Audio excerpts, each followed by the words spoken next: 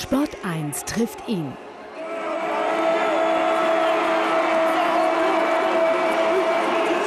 Dirk Nowitzki. Eine deutsche Basketballlegende.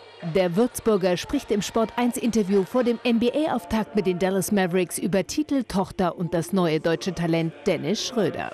Jetzt, äh, jetzt bin ich der Alte halt äh, und der Dennis ist der Neue, der jetzt, der jetzt reinkommt. Und, ähm, aber ist wirklich schon ein, ein Top-Spieler. Ja. Also mit, die Spielübersicht, mit der er schon spielt, mit 20, äh, schon, schon Wahnsinn. Also hat mich, hat mich beeindruckt. Ich glaube, der wird, äh, wird, eine lange Karriere in der, in der Liga haben. Ich glaube, die letzten zwei Jahre waren ein bisschen äh, enttäuschend. Ähm, Jahr, das Jahr nach der Meisterschaft war die Streiksaison, war nur ein paar wenige Spiele, Knie schon angefangen, Probleme zu machen, Schwellung im Knie gehabt für die ersten Monate.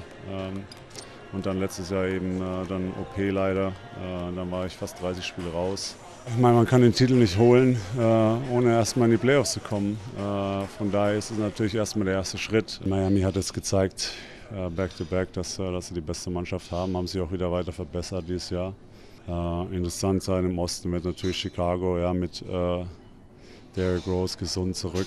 Ähm, und Indiana ist für mich ja eine, eine tolle Mannschaft. Jetzt haben sie noch einen Scholar geholt.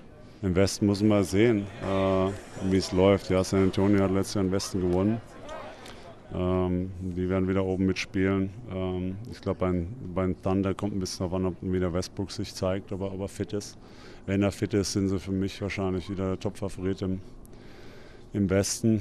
Habe äh, die ersten paar Nächte auch in, im Krankenhaus geschlafen und äh, von daher war es, äh, ein toller Sommer, war ein, echt ein, ein Riesenerlebnis, war auch im Kreissaal dabei. Also also sie bekommen haben. Äh, von daher war es äh, ja, war es ein toller Sommer, macht, macht richtig viel Spaß.